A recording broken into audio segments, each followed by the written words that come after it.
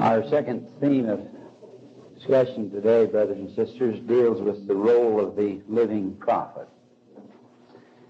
I want to uh, emphasize that word living in more than one way. As it pertains to the prophet, we're talking about the prophet who is alive and who holds the keys of the kingdom at a particular period. And as of now, that is President Ezra Taft Benson. But I'd like to have you see the word living or life in a broader sense than just that we've got a living person who is speaking. Uh, for example, in 2 Timothy chapter 1, verse 10, the Apostle Paul is speaking of uh, Christ, and he says, But now it made manifest by the appearing of our Savior Jesus Christ, who hath abolished death and hath brought life and immortality to light through the gospel. I ponder on that for a while because it's very important. The gospel is not merely a theological system. It's not merely putting together the jigsaw puzzle. All the statements that we know of pertaining to where we came from why we're here and where we're going. The gospel is not merely a social order and a social program and a way of life. The gospel is, in the most literal sense of meaning, a plan of life in that through the gospel there is the infusion into the individual of powers, literal powers of life, living powers that quicken, that animate, that enliven, that enlighten a person's life. And actually transform that person. Paul uses the word translated, translated us into the kingdom of Christ. Literally transform that person to a higher order of life and of being. In 3 Nephi chapter 14, for example, the Savior makes this statement to the Nephites. Straight is the gate, and it's spelled S-T-R-A-I-T, which means narrow, like the Strait of Magellan. Straight is the gate, and narrow is the way, which leadeth unto life, and few there be that find it. And then you have Nephi saying over here in 2 Nephi chapter 33, just as he's signing off his writings in the, in the Book of Mormon and talking about his uh, feelings for both the Jews and Gentiles, he adds this comment, But behold, for none of these can I hope, except they shall be reconciled unto Christ and enter into the narrow gate and walk in the straight path which leads to life and continue in the path and to the end of the day of probation. Now, the gospel then is a plan of life. Let me just take the Savior's comments, run through a few of them with you. Uh, let's begin with John chapter 6, where the Savior is speaking. And you have to kind of really think and ponder this thing through and not let it go in order to finally understand, because it's, it's, worth, it's worth the effort. You, you see the gospel in a much more meaningful way. Verse 63 of John 6. It is the Spirit that quickeneth, the flesh profiteth nothing. Now that doesn't mean very much to us today. The gods of America are those uh, who have physical agility, and I'm not uh, being cantankerous or uh, sour grapeism. Uh, I'm just saying that, uh, and I'm not saying that it's that it's inappropriate to develop physical prowess and that kind of thing. I'm just saying you don't worship it. You don't worship it as we are doing today. It's, the spirit that quickeneth, the flesh profiteth nothing. The words that I speak unto you, they are spirit And they are life. They're actually the transmission of life. When a person speaks by the power of the Holy Ghost, there's actually a, a power of life this way and that way right through. I've seen that in actual experience to the point where I could see it. Just literally, boom, boom, out like that. And you feel, not only feel, but see the flow of the Spirit. And it's a marvelous kind of thing. But the point I want to make is this, that uh, the gospel is a program to, to infuse life and truth and power into fallen, unregenerate people You have weaknesses and uh, elevate them as they apply the principles of moral and spiritual discipline in their lives also. Elevate them finally back to where they have eternal life, which is to have the fullness of celestial glory or power. Now, over in chapter uh, 10, for example, of the book of John, Jesus speaking, I am come that they might have life and that they might have it more abundantly. Now, not just the abundant life in the sense that you get your life established on good principles. Now that's an abundant life. But coupled with that, the infusion of spiritual truth and power from God. Be a sunflower. Sunflower knows enough to get its face toward the sun because there's something coming. And we need to get our face toward the S-O-N because there is something coming from Him to us. He is the light and the life of the world. And when our lives are centered in this way, then we begin to get that flow. In uh, chapter 11, verse 25, Jesus said unto her, I am the resurrection and the life. Now there's two things. Resurrection, putting your spirit back into your body, and also the life. And the ultimate fulfillment of that is the endowment of the individual with celestial glory so that he's a being like the Father and the Son were in the sacred grove, with a brilliance of light and life and power within that person that would eclipse the light of the sun at noonday, see? Now think of yourselves as beings like the Father and the Son were. That's the great destiny of the gospel, to infuse new life, not just to remit sins, not just to resurrect, but to infuse life and sanctify and transform and change and finally endow with a celestial glory. That's the purpose of the gospel. Dare to be like the Father and the Son were in the first vision, because that's your destiny. You see that? Over here, for example, again now in in uh, uh, first in, in, John 14, he says this uh, in uh, verse six, for example. Jesus said unto him, I am the way, the truth, and the life. No man cometh unto the Father but by me.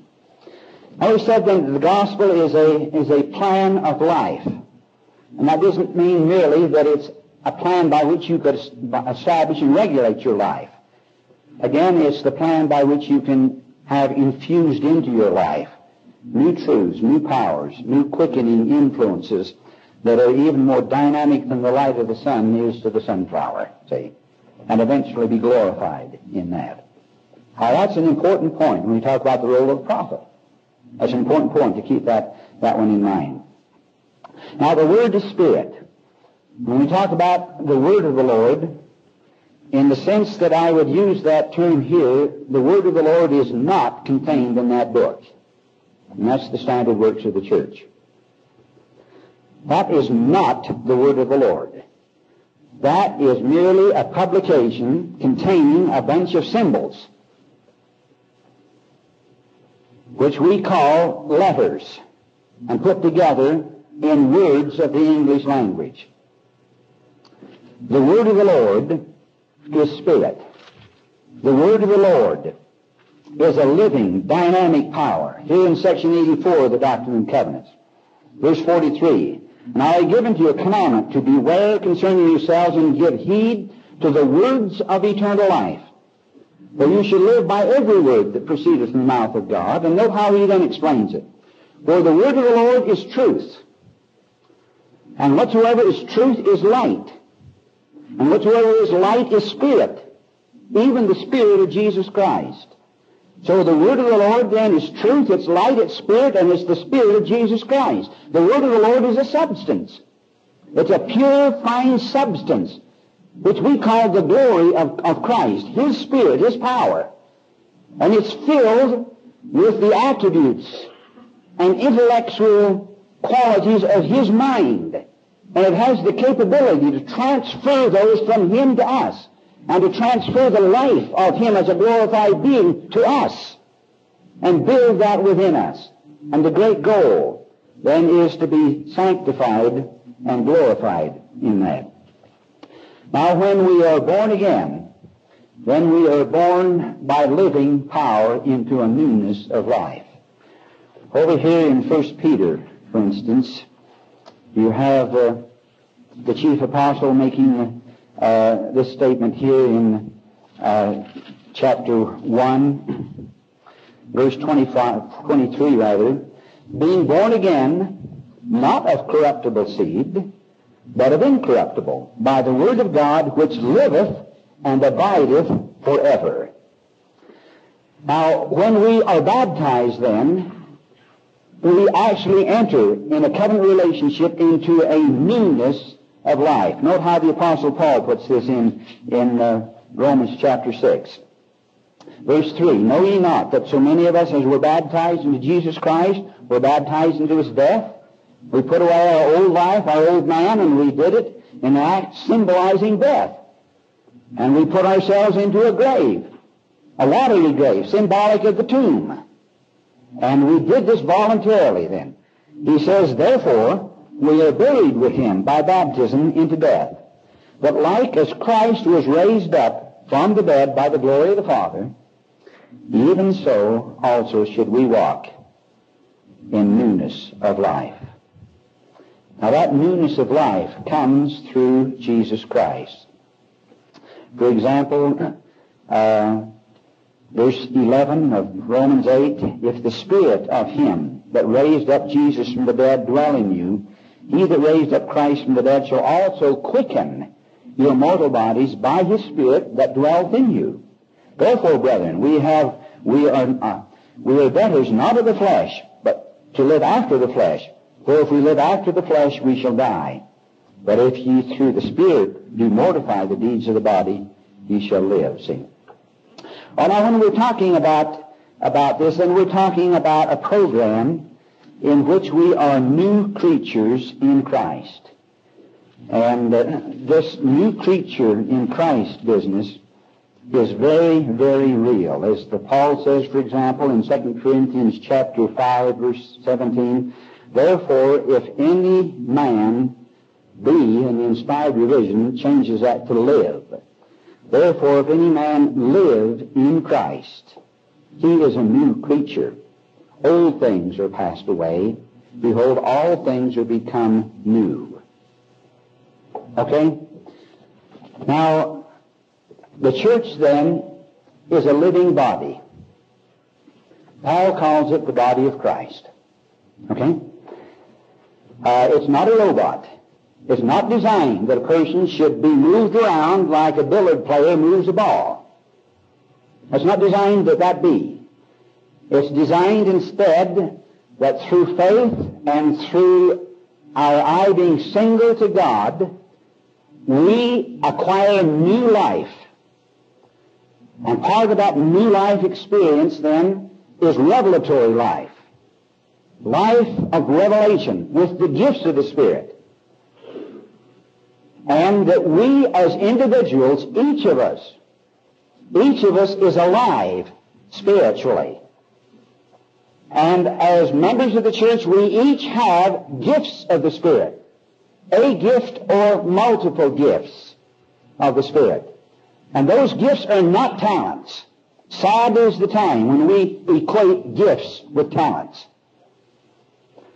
Gifts then are endowments through the Holy Ghost. Talents are something that you develop within yourself.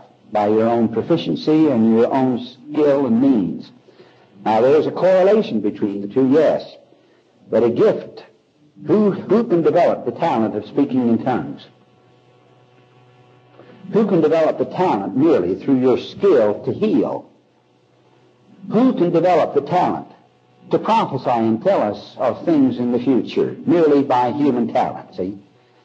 The only way you can do any of those things is if there is an infusion of power which is life and which is revelatory coming from up there into you and you speak as a manifestation of it. And those are gifts. Now the church is a living body. It's designed to be, each person to be alive and not to be moved around. There may be times when the Lord proves and tries your soul and gives you some instructions and maybe a bishop does this and maybe he, or you say, well, my opinion of that is as good as his. But then there's the issue of obedience, and there's the issue then of whether you're in tune, and the issue of how you're going to answer your conduct when you stand before the Lord and give Him an account, see? The point of the matter is that we're dealing now with a living body, with life and revelation from Christ to each person, and each unit with a living prophet and other living priesthood authorities to direct us. That's what we're talking about, see? And then it's in that setting that you talk about the role of the living prophet. Over here in 1 Corinthians, for example, chapter 12, the Apostle Paul talks about the, about the church. And uh, he says uh, this concerning it, verse 27 and verse 28, God hath set some in the church First apostles, secondarily prophets, thirdly teachers, after that miracles, then gifts of healing, helps, governments, diversities of tongues. Are all apostles, or all prophets, or all teachers, or all workers of miracles? And the answer is no. Are all parts of your body the eye, or all parts of the body your left hand, or your right hand? No. But all of them then are a part of a living organism. And there's life in the living organism. And uh, there should be life in the individual. There should be life in a quorum president. And interestingly, that life corresponds with the scope of responsibility that's yours. If it's only individual, then it pertains to you as an individual. If you're president of an elders quorum, you have the right to the spirit of revelation so that you see and understand and perceive the needs of members of that quorum. You may not even talk with them, and the Spirit will open it to you. If you're a bishop, then you are the focal point of revelation for that ward. I've served in that office, and I've served in the stake presidency, and I know what the mantle is. The mantle then is an endowment, and that mantle is revelatory, and that mantle has a quality of love about it that supersedes the love that you have within yourself because that mantle is Christ. It's His life. It's His gifts. It's His power. And we're talking now about a living body, living people in the living program. Now, within the church, there are basically two channels. Maybe this is an arbitrary way of saying it, but for the purpose of discussion, let me do so. There are two channels of the Spirit which open the Spirit to the individual. Now the first channel then is the, is the gift of the Holy Ghost. And then included with that then, the higher ordinances of the gospel. And this gift is the most precious and important gift that a human being can have. You can learn more through the gift of the Spirit and the gift of the Holy Ghost than you can by any academic program whatever. You can go on through and get your PhD, and I've got four college degrees. As far as the Lord's concerned, they're not worth the paper they're written on. They do open doors, and they give you a little status to stand on, and if you're humble, then you can use them for a benefit, see? But other than that, they're, they're really not worth much. It takes a lot of work to get them, and you get a respect then for the intellectual processes. but let me just tell you this and bear you a testimony that the gift of the Holy Ghost is far more meaningful than the libraries of every university on earth combined. If you apply that, you can have a flow of revelation in your life that just it's a new life. It's a new it's just a new program. And uh, that flow of revelation never ceases. You can have the Spirit teach you. You can have it counsel you. You can have it open things to your knowledge. You, you can have you given warnings, etc., and so forth. See, you can have all those things.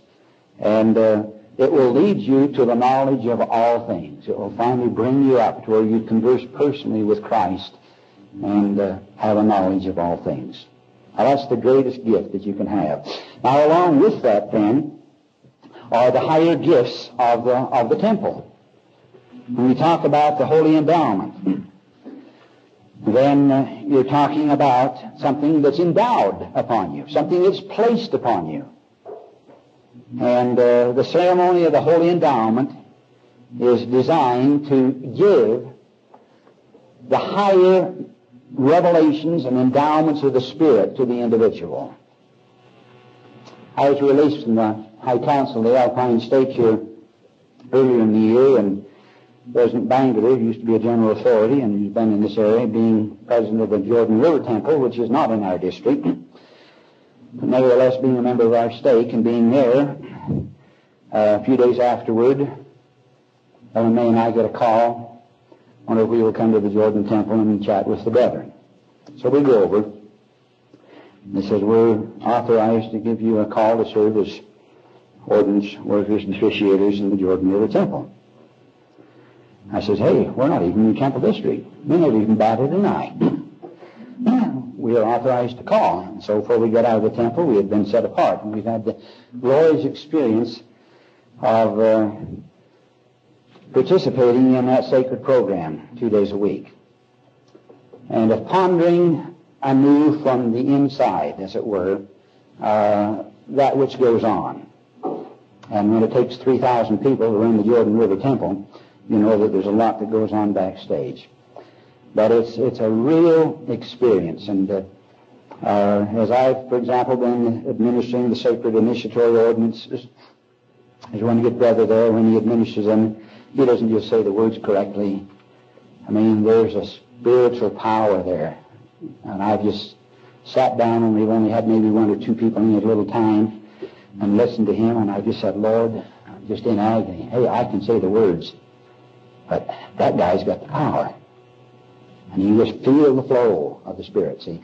But it gets you, it gets you close then to, to the, to the temple as a source of spiritual communication and endowment. Remember when I first received my endowments, I was a young man about 19 years old, just turned 19. Wasn't going on a mission or anything. But uh, Dad and I decided it might be a good idea. That's where the Idaho Falls Temple was built, and we were living in the Idaho Falls area. So we went on an excursion down to the Logan Temple, and, and there I received my endowments. But I can still remember the change. It was just like putting on a warm coat on a chilly day. Just the radiance of the Spirit. I can, I can still remember that, and I didn't quite know what it was, except I would stand and kind of blink and wonder about it. But there was, there was an endowment that came that I could literally feel. Now, there's that kind of thing that's open to every Latter-day Saint. If your lives are in harmony and in tune, and you begin to feel it. And this is a revelatory thing. The prophet Joseph in section 121 of the Doctrine and Covenant says, God shall give unto you knowledge by his Holy Spirit. Verse 26, by the way. Yea, by the unspeakable gift of the Holy Ghost that has not been revealed since the world was until now, which our forefathers have awaited with anxious expectations to be revealed in the last times, which their minds were pointed to by the angels as held and reserved for the fullness of their glory. A time to come into which nothing shall be withheld, whether there be one God or many gods, they shall be manifest. All thrones and dominions and principalities and powers shall be revealed and set forth upon all those who have endured faithfully for the gospel of Jesus Christ. And also if there be bounds set to the heavens or to the seas or to the dry lands or the sun, moon, and stars. And he says all the times of their revolutions, and all the appointed days, months, and years and all the days of their days and months and years shall be revealed in the days of the dispensation of the fullness of times. And then he says this, As well might man stretch forth his puny arm to stop the Missouri River in its decreed course, or to turn it upstream, as to hinder the Almighty from pouring down knowledge from heaven upon the heads of the Latter-day Saints. See? Now there's one challenge, and there's one channel. But it's only one out of two. there is another channel. And of the two of them, the second is supreme. The second is supreme. and that second one is the flow of the living priesthood through a prophet and through living administrators, stake presidencies, bishoprics, quorum presidencies, see. And of the two, as I said, the latter is superior. If uh, you're teaching your children, if you could just teach them two things, and two things only, you got these ingrained in their lives, what would those two things be? would they be to memorize the Beatitudes, the Ten Commandments? What would they be? You think about it. As I see it, there would be two things. Number one, teach them how to get the Spirit of the Lord in their lives. And number two, teach them to follow the living prophet. And in priority, number two would be one. Now that's the priority, see? Uh, this gets us, for example, to a program of ministering rather than administering. The church is not a well-oiled Gentile corporation that runs smoothly because we learn the arts of administration. That's not the goal of the church. The goal of the church is fourth Nephi where every man partakes of the gifts of the Spirit. And We're all free and partakers of the heavenly gifts. See? The goal isn't merely administration, the goal is ministration. And ministration is the art of teaching divine truth and infusing the power of the Holy Spirit into the people. That's the art of ministry. And uh, it's that kind of thing that uh, that President Benson is talking about. For example, when he's when he deals with church organization, he says if uh, we spend, he says often we spend great effort in trying to increase the activity level of our stakes. We work diligently to raise the percentages of those att- attending uh, sacrament meetings. we labor to get a higher percentage of our young men on missions. We strive to improve the numbers of those marrying in the temple. All of those are commendable efforts and important to the growth of the kingdom. But when individual members and families immerse themselves in the scriptures regularly and consistently, these other areas of activity will automatically come. Testimonies will increase commitment will be strengthened. Families will be united, fortified. Personal revelation will flow. And he goes on to say, feast upon the words of Christ. Learn the doctrine. Master the principles that are found therein. There are few other efforts that will bring greater dividends to your callings.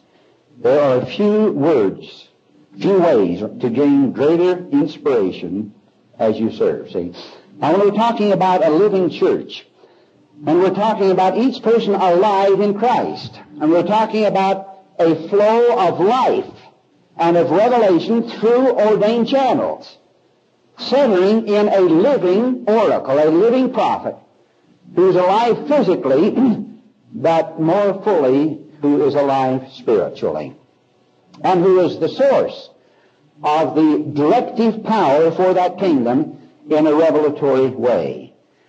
And this program then is that of ministry. I have here in the in my uh, uh, Doctrine and Covenants over in section 43, and we'll get to that just a little bit later, as we talk about uh, the role of the prophet as the Lord speaks of it in that section. But uh, let me just say it at this point. I have here in the margin of uh, this old beat up volume, which I'm going to retire one of these days and put a sign on it, rest in pieces. Uh, the keys to the kingdom constitute the gospel ministratively.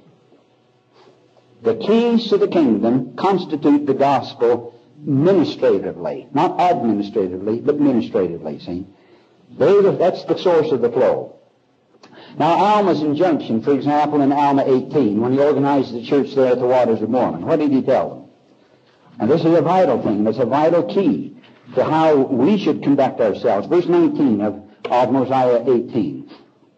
And he commanded them that they should teach nothing save it were the things which he had taught them and which had been spoken by the mouth of the holy prophets. Yea, even he commanded them they should preach nothing save it were repentance and faith in the Lord who had redeemed his people. Let me put it this way. That the living prophet sets the bounds of church doctrine. And those bounds may differ from prophet to prophet. And they may differ downwardly as well as upwardly. They may differ downwardly. In section 93 of the and Covenants, the Lord talks about the Spirit of truth. The Spirit of truth is this living power. Jesus is the center of it. And for this reason, Christ is called by, as one of his names, the Spirit of truth. And that Spirit then flows from him to a living church and to living people who are alive in him, alive in Christ. And uh, that Spirit flows to living prophets who teach and who direct. But if there is a truth in the sense of a letter that is taught without the Spirit of truth, without the living principle, then that written letter is a false doctrine, regardless of how true it may be intrinsically. Now, for example, the principle of plural marriage has certain false doctrines associated with it for us today. That wasn't true in Brigham Young's day. But it is true of us today. Now there's some aspects of plural marriage today that are true. If a young man marries a wife and they marry in the temple, they marry for time and eternity, and they live for, say, three or four or five years, and then she dies. And he then is left alone, and uh, he, after due and appropriate time, then uh, enters into another relationship and marries another young lady in the temple. He can marry her for time and eternity. And she is his plural wife. Okay? Now that doctrine is true. But if you go out and say in section 132 of the Doctrine and Covenants, the Lord reveals there the principle of plural marriage. And it's there in written letters. And you can read it and understand the rationale of the idea. And you then say, as people today still do, therefore let's go to and practice plural marriage.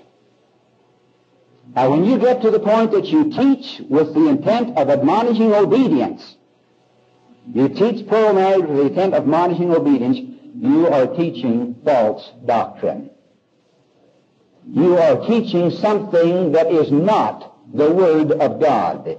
It may be the letter, but it is not the Word. The Word is life. The Word is Spirit. The Word is the living revelation of God through living prophets. And those then who teach and practice plural marriage and other doctrines that have been taught in the past irregardless of their merit intrinsically, are teaching false doctrine. Because the living prophet is head of a living church, and that church is alive in Christ, and anything that is outside of the will and the law of Christ through that living prophet is dead. And sometimes it's putrid and stinks. Now that is the basis then on which the church operates. And so it is not appropriate for a person to dig things up of the past and then teach them as truths. if the living prophet has not sanctioned them. Uh, there's no check on how much revelation a person can receive. The Book of Mormon teaches that very dramatically. Ask yourself the question, for example, who in the Book of Mormon taught the Nephite people, take this thousand year period from Lehi down to Moroni, that thousand year period, in that thousand year period, who taught the Nephite people the greatest and most sublime truths? Who did? And the answer is not Christ in his personal ministry to them. The answer is not the prophets. Who is the answer? The little children. Isn't that what it's recorded? Now, why did Moroni put that, I mean, Mormon put that in there? The Book of Mormon is a tailor-made book. And he didn't record everything that went on when Jesus visited them. But he put that one in there. Why? what does it teach us? That there is no limitation to the revelation you can get as a person, regardless of how old you are or what sex you are. There is no limitation to the revelation that you can get. But let me tell you, there is a limitation on what you can do with it. The role of the living prophet judges that one. And when we push beyond what the living prophet would say, we do wrong. Oh, the Lord has blessed me, for example, personally with a spiritual gift. It's called the gift of knowledge. It's one of the plagues of my life, has been. Because as I read the scriptures at times, it just seems like the neon lamps turn on, and the Spirit, boom, boom, here's what it means. And then, with great joy and happiness, I go and tell someone, and they say, I don't see that. And then I have the challenge at times of uh, just keeping within the bounds. And sometimes I get a little enthusiastic. and you don't know quite where the bounds are. and I've learned and I'm trying, I'm still working at that. Just literally working as a major objective. Lord, what is the bounds? What are the bounds as they pertain to me? And can I be sensitive enough to the Spirit where the Spirit begins to say, uh-uh, that's enough, to back off? Now that's the kind of thing that we have to do, see. That's the kind of thing that we have to do. All right, so Alma's injunction, very, very definite. Now the gifts of the Spirit are open, and uh, again, though, priesthood channels are the basis then of determining how much is given. See, as Latter-day Saints, we ought to meet together instead of just telling some little emotional story that appeals to emotion. And we think we've got the Spirit because someone begins to feel emotional about it. Now, there's a difference between emotion and the Spirit. The Spirit is emotional. It does. It has a power in it. If you want to get the power of the Spirit, you teach the Scriptures. Unfold what they say. Don't just play on emotion. See, unfold the Scriptures. Unfold the truths of eternal life. And exercise the gifts. And if we were living as we really ought to then, as we come together in a, in a meeting, then the gifts of the Spirit ought to be there. The Spirit of prophecy, the Spirit of revelation, the gift of tongues, the interpretation. If we don't have these, we're really not where we should be in the gospel. That's the message of the Book of Mormon. But in the midst of all this, the Lord says this in section 46 of the Doctrine and Covenants. And all these gifts come from God for the benefit of the children of God, verse 27 now, and unto the bishop of the church, and to such as God shall appoint and ordain to watch over the church, and to be elders unto the church, or to have it given to them to discern all those gifts, lest there shall be any among you professing and yet not be of God. Now you may have a gift, but when it comes to expressing it among the saints, then you're subject to the living administrator in regard to what you do. You see that? And that's the basic idea. Okay? now the danger is then that uh, people then begin to believe that they, because they have the spirit of revelation, that therefore it came from the Lord, and therefore what he tells me, therefore I can do. And sometimes the Lord doesn't have too many inhibitions in what he tells you. He can reveal truths that go beyond what the prophet teaches. For example, give you an illustration in church history.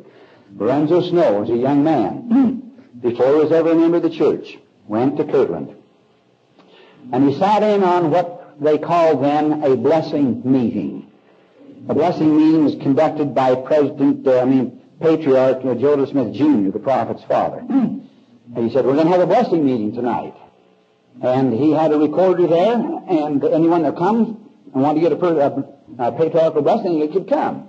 And he would talk to them for a while and then say, okay, and who wants to have a patriarchal blessing?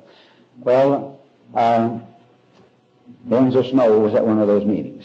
And he was, he was impressed, very much so. He wasn't a member yet, and he walked up to Joseph Smith Sr. and began talking with him. And Joseph Smith Sr. had the spirit of revelation. And he says, Brother Snow, the day will come when you'll be a member of the church. And you will become as big as you want to be, even as big as God is. Now that's a powerful one to lay on to any together. and he pondered that, and he pondered that on through the Kirtland period where he joined the church, clear on through into the Nauvoo period, and he was finally pondering it. Then the whole flood of revelation opened up to him, and he formed that popular couplet, As man is, God once was. And as God is, man may become. But the footnote to that is this. While he got that revelation, he didn't teach it. He says, I kept it to myself until I heard Joseph Smith the prophet talk on the doctrine, and then I felt free to express it to others. You see that? Now that's the key, and that's the check. So there's two channels, and don't get caught up because you think it's true, and it is true, and then become your own revelator. And then you become your own prophet, and then you cut yourself off from the living body. And your quest for truth is the very thing that cuts you off. Because the element of pride comes in there. You know what President Benson has said about that one? The element of pride comes in. And uh, it's just this simple. We can't be saved, for example, without our dead. Now, we all know that. Salvation is a family matter. And uh, it's just this simple. We can't be saved, for example, without our dead. Now, we all know that. Salvation is a family matter. Neither can we be saved without prophets, apostles, stake presidencies, and bishops. Because they constitute the channels through which the Spirit of life and revelation and wisdom and guidance and even discipline flow. And I've been involved in that disciplinary action and feature of things.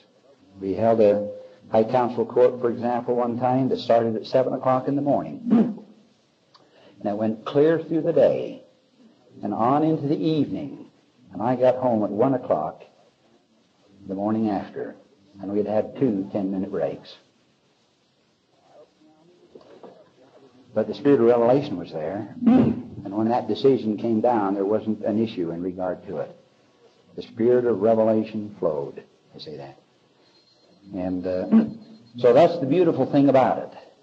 And I've been close enough, at least administratively, on some levels to know that that is an actuality. All right, now, the idea of spiritual development is that uh, faith is not mere belief but the capacity to acquire the Spirit of the Lord and the gifts of the Spirit. The prophet Joseph Smith, for example, put it uh, uh, this way as he spoke of the gifts here in the uh, teachings. This is page 270 and 71 of the, of the teachings of the prophet compiled by President Joseph Fielding Smith. He says, because faith is wanting, the, the fruits are. No man since the world was had faith without having something along with it. The ancients quenched the violence of fire, escaped the edge of the sword. Women received their dead. By faith the worlds were made. A man who has none of the fruits or the gifts has no faith. And he deceives himself if he supposes that he has. Faith has been wanting not only among the heathens, but in professed Christendom also. So that tongues, healings, prophecies, prophets, and apostles, and all the gifts and blessings have been wanting, see? Now, if we have faith, you'll have the gifts of the Spirit. You'll have the Spirit of revelation. If we don't have the Spirit of revelation and we don't have the gifts of the Spirit, then we don't have faith.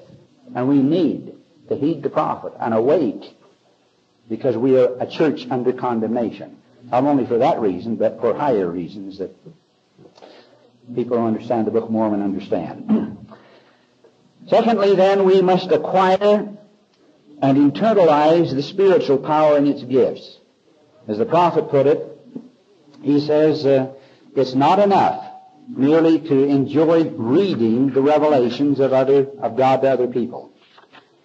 He says reading the experiences of others, the revelations to them, can never give us a comprehensive view of our condition and true relation to God. Knowledge of these things can only be obtained by experience through the ordinances of God. And those ordinances, the gift of the Holy Ghost, the temple, and through priesthood leaders, priesthood channels, these can only be given to us through experience, through the ordinances of the God set for that purpose. And then he goes on, and he says, I assure the saints that truth in reference to these matters can be made known through the revelations of God in the way of his ordinances. Not that is revelation like you're out in a camp meeting and you feel like you've had some inspiration. Revelation in the way of His ordinances, through the gift of the Holy Ghost, through the living oracles, through those who are appointed appropriately to teach and to direct, see? He says, the Hebrew church came under the spirits of just men made perfect. They got clear up here into the realm of the second comforter blessings. Came into the spirits of just men made perfect, unto the innumerable company of angels, and the God the Father, and Jesus the mediator of the new covenant. He says, what did they learn by coming to the spirits of just men made perfect? Is it written? He says, no. what they learned has not been and could not be written. He says, what object then was gained by this communication? And then he answers very significantly, it was the established order of the kingdom of God. Now what's the order? It's to exercise faith, to begin to get the Spirit, and to finally come like the brother Jared back into God's presence. And it's a personal, individual thing. Section 76 talks about those who get to the celestial kingdom. And uh, it indicates that they are they who have paid this kind of price. Note how the wording is expressed. Note how the wording is expressed. It says, for instance, here in uh, uh, verse 67, these are they who have come. And the wording is past tense. These are they who have come. They've been there. They've, by their experience, arrived up there. See? These are they who have come to an innumerable company of angels, to the general assembly and church of Enoch and of the firstborn. It's going to be rather easy to determine who makes the celestial kingdom. The Lord just looks around and says, who's got the head above the veil? Okay, come on, here, you're in the celestial kingdom. And who hasn't got their heads above the veil? Well, then you're something less than celestial. See, we get the idea that our life is like being placed on a, on a, on a balance scales, and the Lord's going to take all these things that are evil and wrong and put them on one end and all the good deeds on the other, and He's going to balance them off. And we just hope the good outbalances the evil. Well, that whole line of thinking is idiotic. First of all, if you come into Christ, He just pays the debt of that, and that's all forgotten about. Isn't it? And then secondly, the issue is that there's something in addition in the gospel plan to the preparatory gospel. The preparatory gospel is faith, repentance, and baptism by which you get the barrier cleared away and all the crud taken off the balance scales. That's the preparatory gospel, see? But in addition to that, then there's the everlasting gospel. And the everlasting gospel is the plan of life that leads to eternal life. It's like living water springing up into everlasting life. It's the thing Jesus was talking about. He says, I am the bread of life. It's something that nourishes, that feeds, see. And then the issue is, have you grown in that to where you finally come up? And thank goodness we got through into the spirit world and to the resurrection to make that determination rather than having to do it all here. But the point is, when you get to the day of judgment, the question will be, how many of those who have come, how many are there who have come up to celestial presence? And they are celestial. And it's just that simple and that easy. Okay? And there may be judgments above that in regards to where you fit in the celestial kingdom, so forth. Now, the Doctrine and Covenants is a revelation that gives us important keys of insight into this, and there are three revelations primarily that are important on this subject. One is section 21, which was given the day the church was organized. The second one is section 28, which is given later that fall. And then there's section 43, which comes a little after that one. now, uh, when the church was organized, there were two priesthood leaders in the church. There was Joseph and Oliver. And uh, you had then a first and a second elder relationship in regard to priesthood functions. They were uh, apostles, both of them. They were prophets, they had received the holy apostleship and so forth, see? But as the Lord instructed them on that day, he says this, beginning with verse 4. Wherefore, meaning the church, thou shalt give heed unto all his words and commandments, which he shall give unto you as he receiveth them, walking in all holiness before me. For his word ye shall receive as if from mine own mouth in all patience and faith. Now that's a powerful statement. That, that has tremendous significance. What the Lord is here saying, that when you listen to the living prophet, that what he says is just as though Christ had said it himself.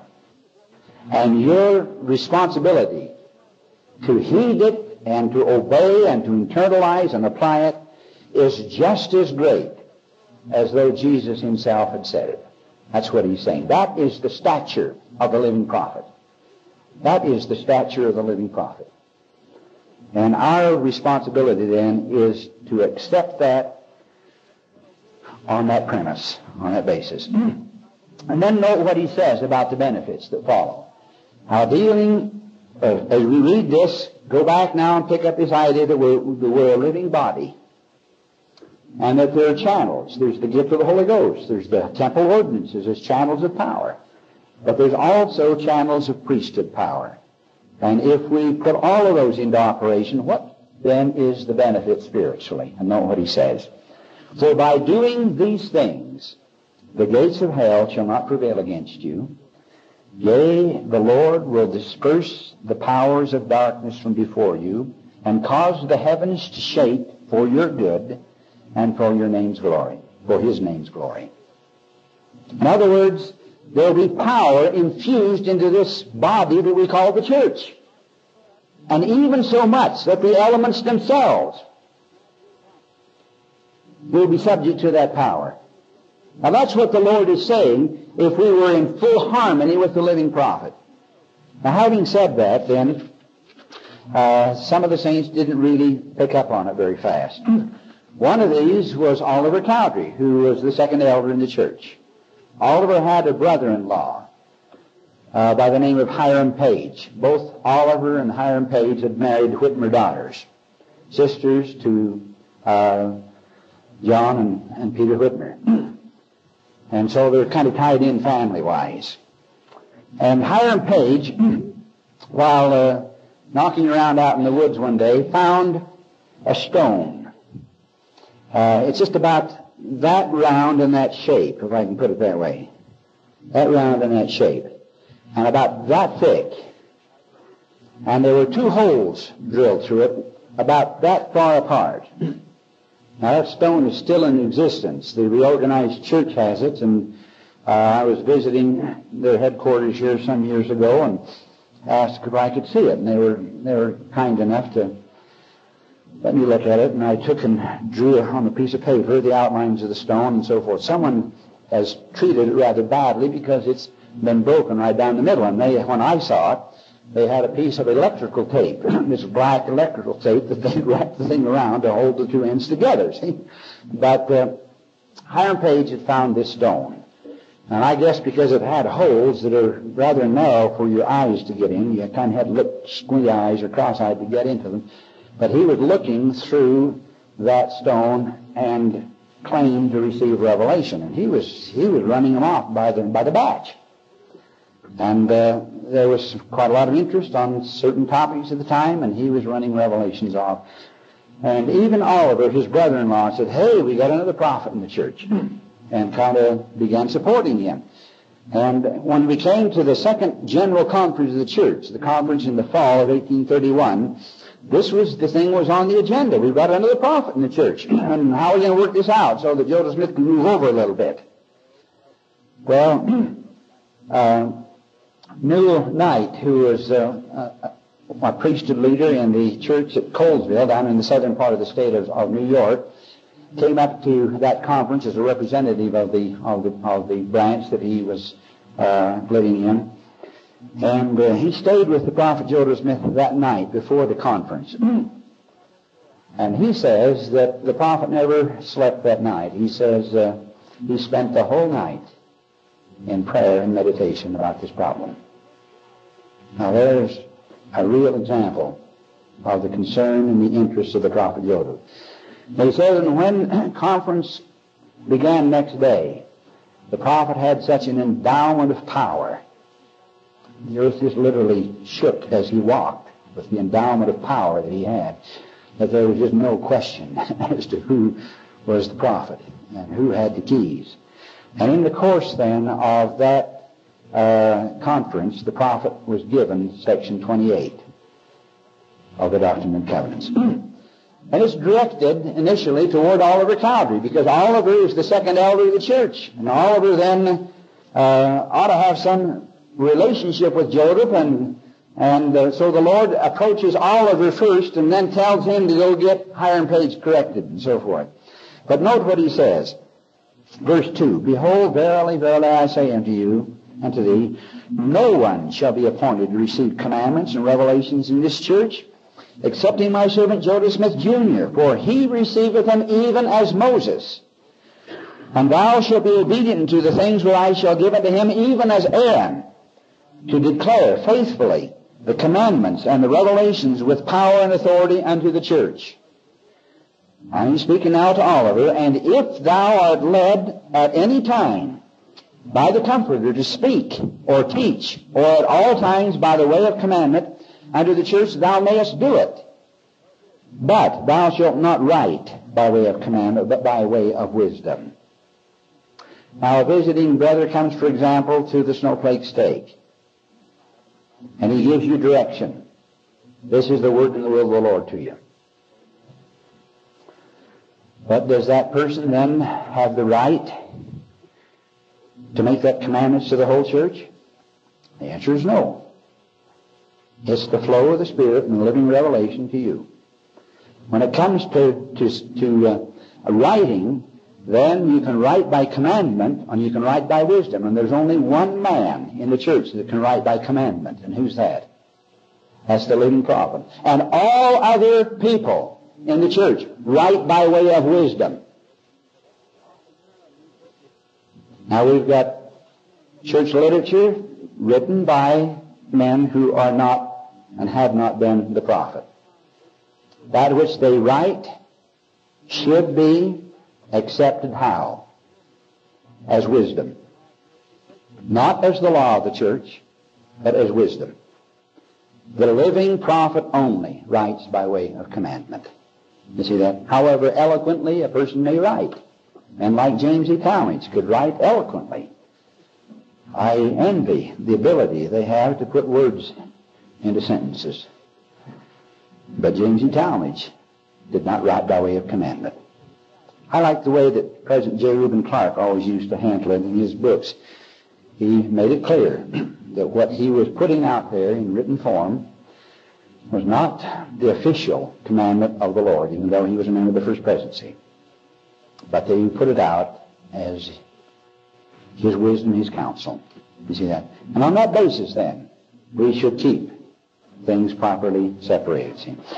All right, now, uh, in, in section 43, though, we come back to this, and we have one of the choicest statements in the church on uh, uh, the role of the living prophet.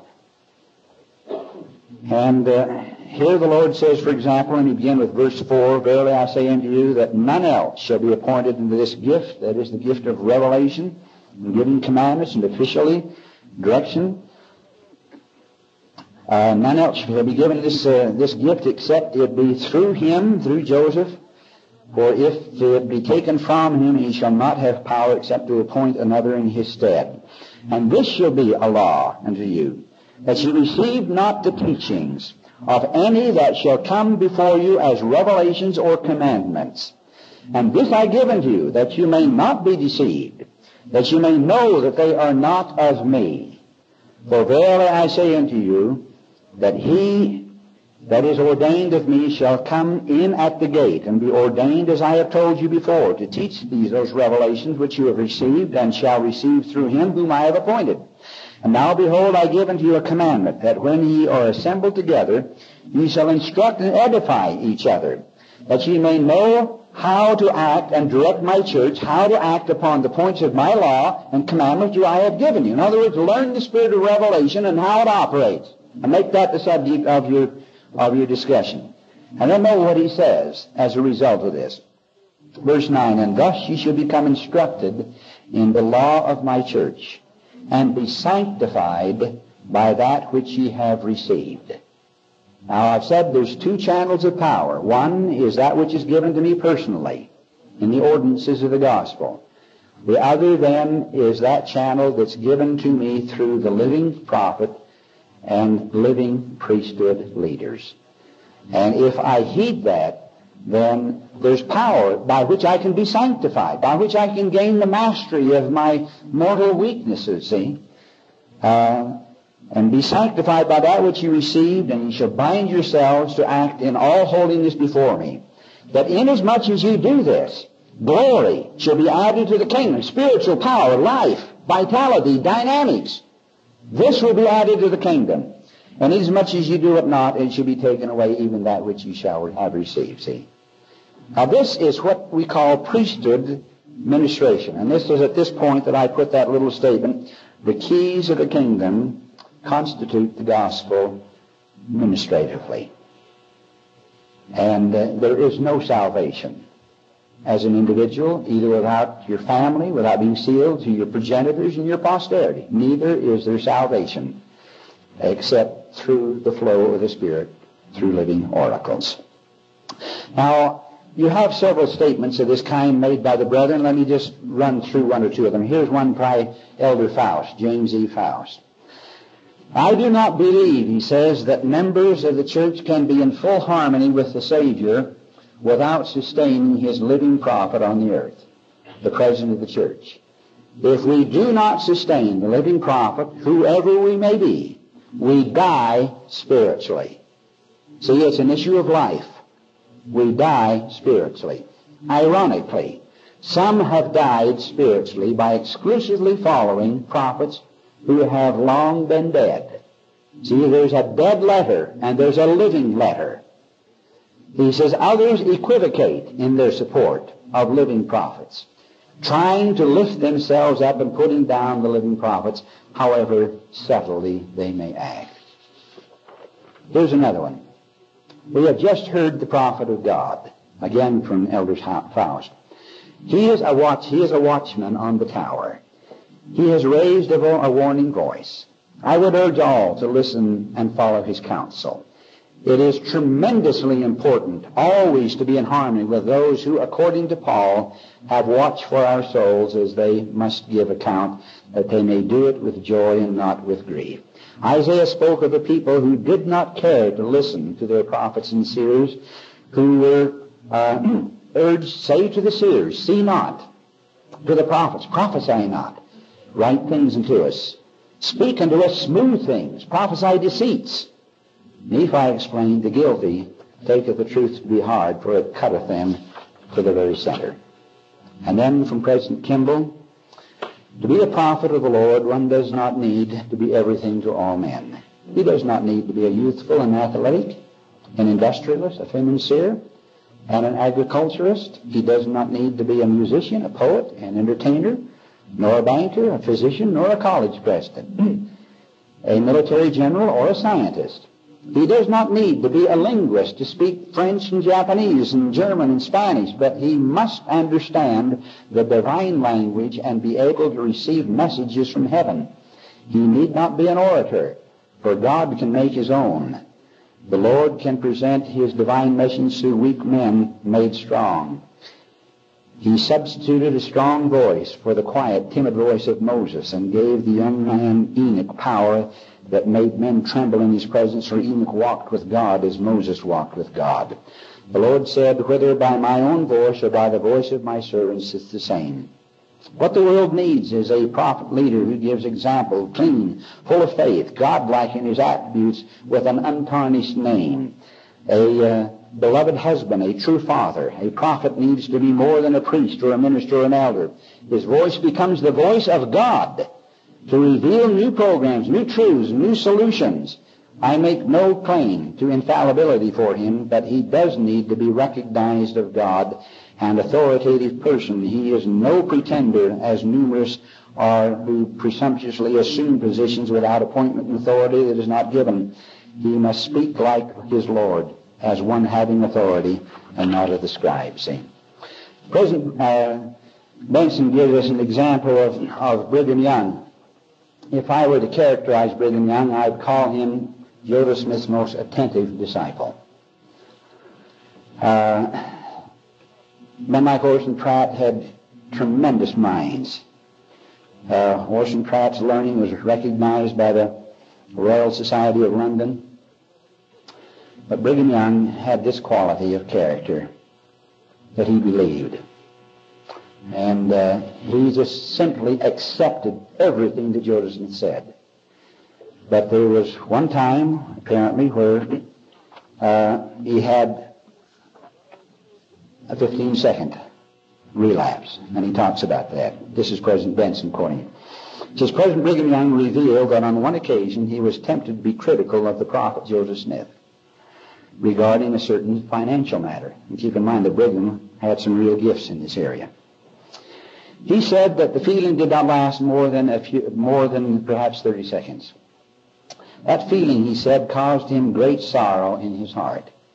The lesson he gave to members of the church in his day may well be increased in significance today because the devil continues more active.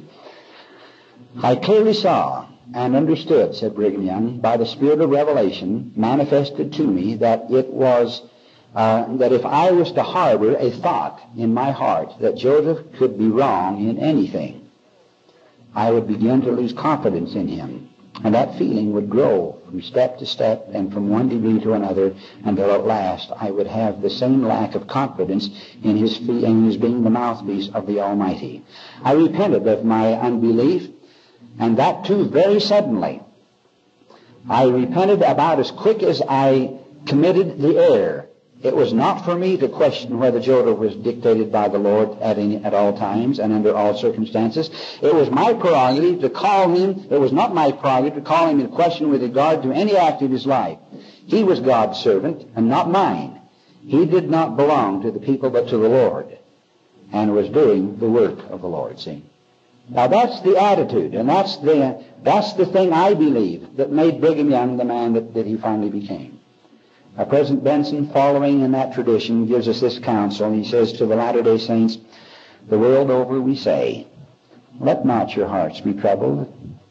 Keep the commandments of God. Follow the counsel of his living prophet, taking care not to exceed the counsel with your own private views. I've had some interesting experiences, if I can just take a minute before we conclude, and just recount a few of them. Well, it reminds me a little of my, my great-granddad, for example. He was at Kirtland when uh, the spiritual endowment was poured out there at the dedication of the Kirtland Temple. He was a member of the First Quorum, of 70 at the time, and and I don't know, he might have taken it a little bit casually because after that dedicatory meeting, he went up to the prophet and says, hey, I saw everyone else speaking in tongues and prophesying and having good, but personally, Joseph, I didn't get much myself. Now, what do you think about me? And Joseph says, well, have you really seriously fasted and prayed about it? He said, well, I just came to meeting. No.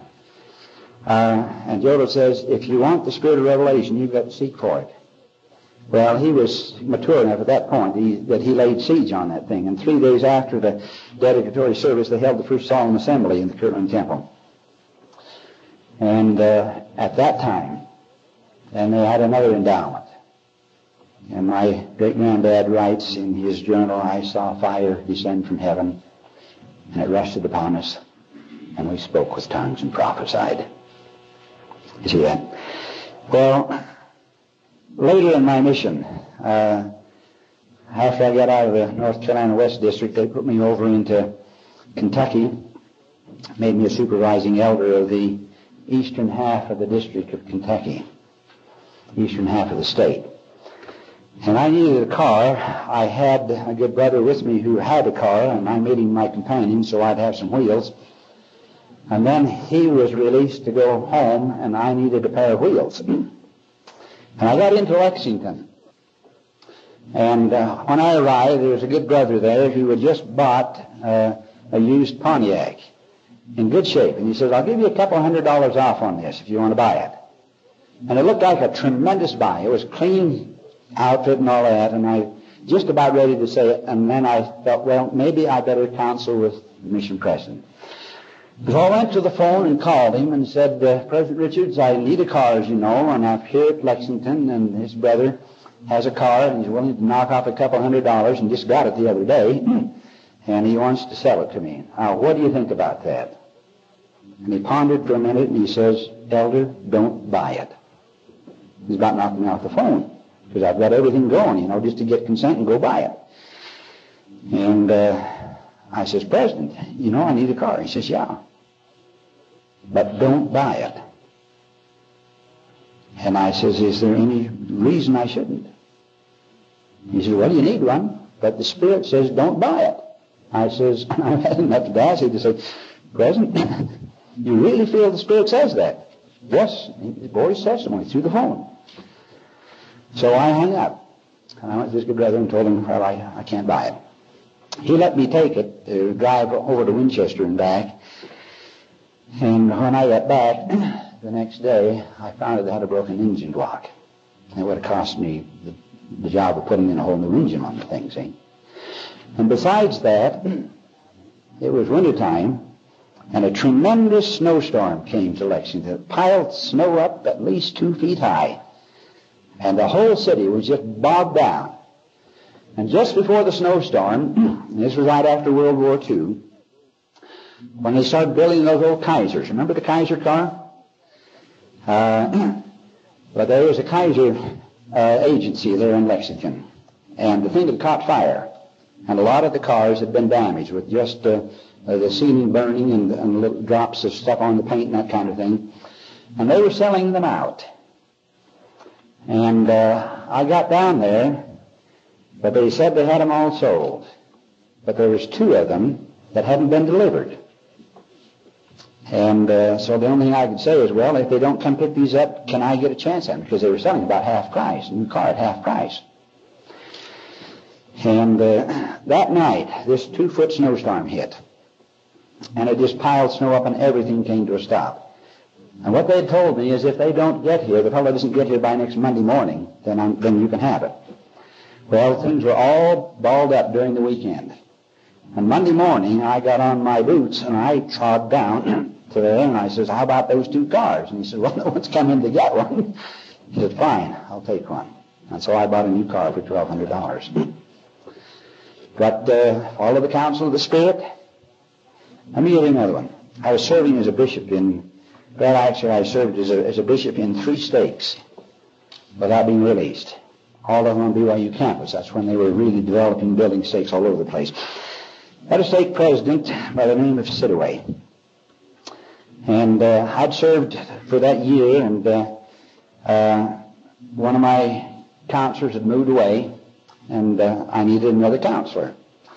I had at the time a young man working for me who was just a tremendous person. Uh, he went through the BYU testing program with the national academic tests and ranked right up there within the 1 or 2% of the whole nation. I mean, he was a real solid, dynamic, and, and uh, powerful man, young man. And he was working for me as an assistant. and as a research assistant. And so he was in our stake, and the policy of the stake was he doesn't have to be in your ward, he just has to be in the stake. And so I never really thought about who I ought to have as a replacement. I just said, hey, I'm going to have him. You see that? And so I turned his name in to the stake presidency. And uh, without really going to the Lord and saying, should I do that? I just turned his name in. And then the stake meeting came along, and the stake high council was meeting, and uh, there in the same building, on the Knight building there on campus, my other counselor and I, and this was late toward the summer, and we were preparing now for the new uh, summer session as the students came in in the fall. We were going through, my counselor and I, the other counselor, the list of people that we had to study out and think about who we, I might call as a new counselor. And we were going down the list, one after another.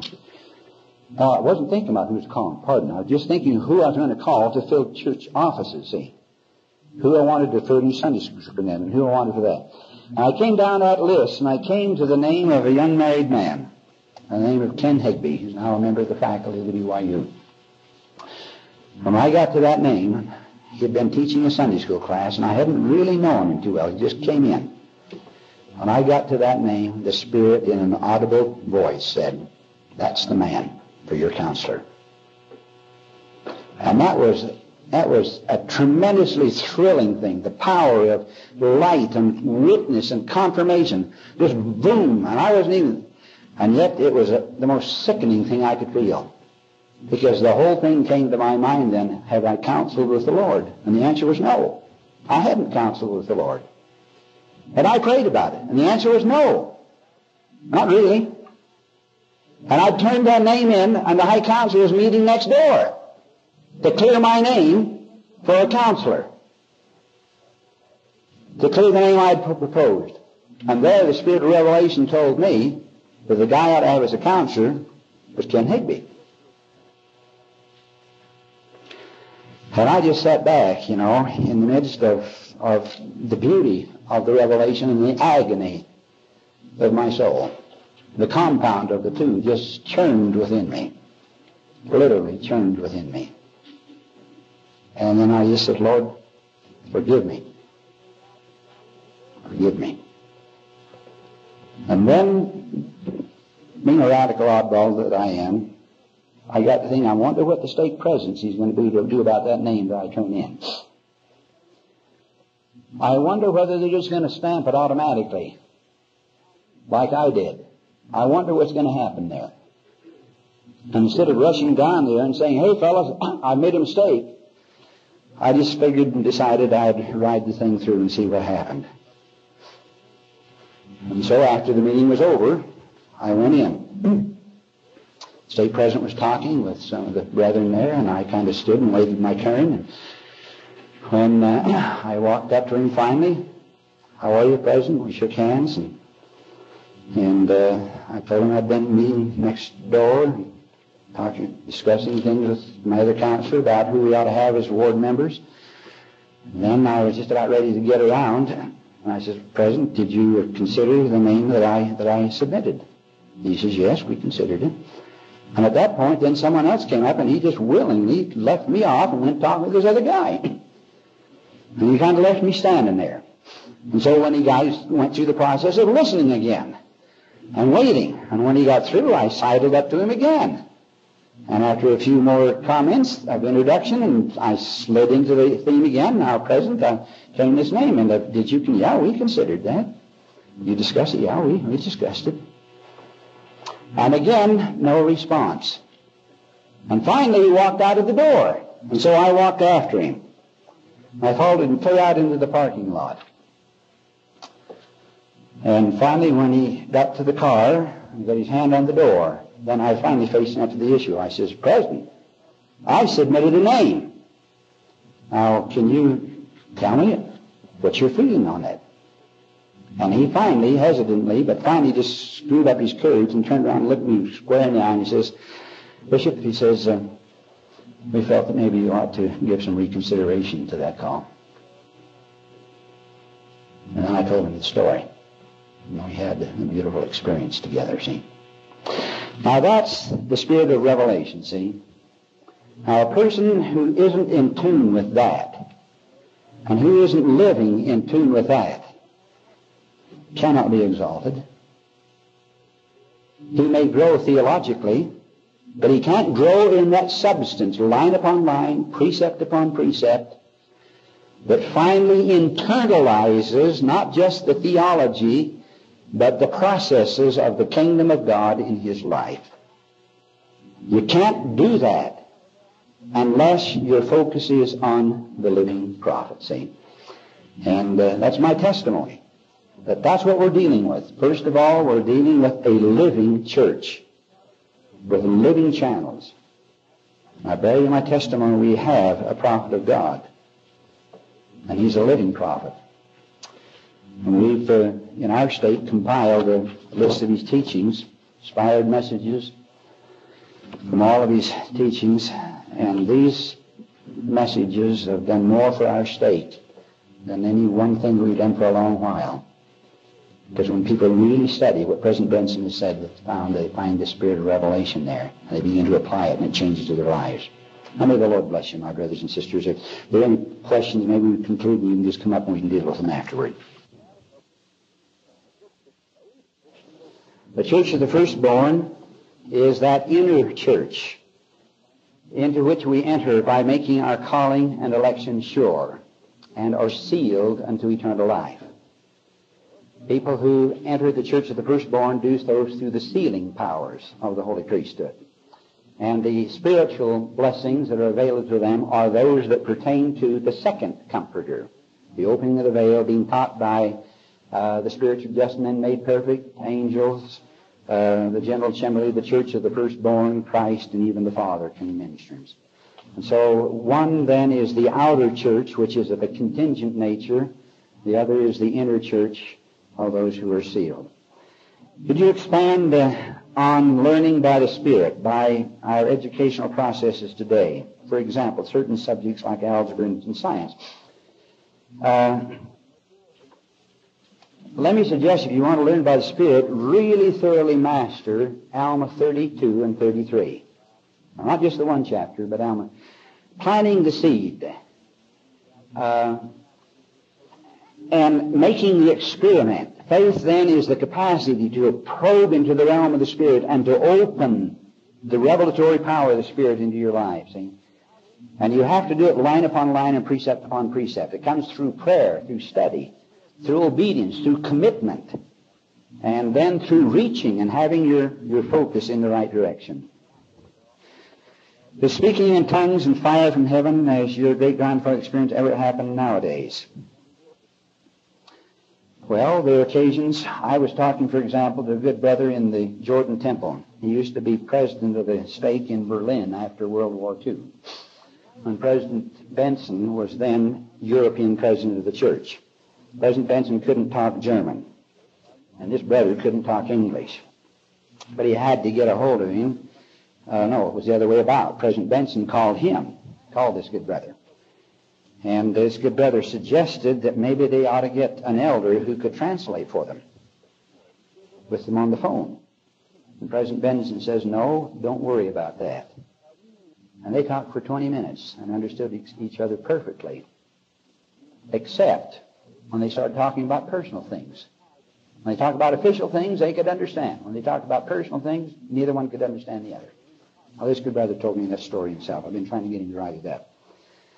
If the church is a living body, and if we are truly infused with this life, then are we part of the body of Christ? And the answer is yes. In the sense that we are partakers or co-heirs of His glory. That's true. That's how you become co-heirs with Christ. Because you, you come into that program and partake of that life. Then does it also follow that if we are cut off from the body, we have done it by rebellion? Are we therefore no longer partakers of the glory because we have rejected? And the answer is yes It's a part of a living system. It's like cutting off your home from the, from the telephone wire or from the electrical line outside. The fridge doesn't work any longer, see? You're cut off. Uh, you spoke of no resurrection after those resurrected at the time of the, Savior, of the Savior's resurrection. Do we understand then that the prophet Joseph was not yet been resurrected? And I don't know, and you can quote me. My understanding of that, though, is that there will be those who are resurrected prior to the coming of Christ to the Mount of Olives. And I believe personally, as a matter of personal belief, that Joseph Smith will be one of those. Thanks a lot.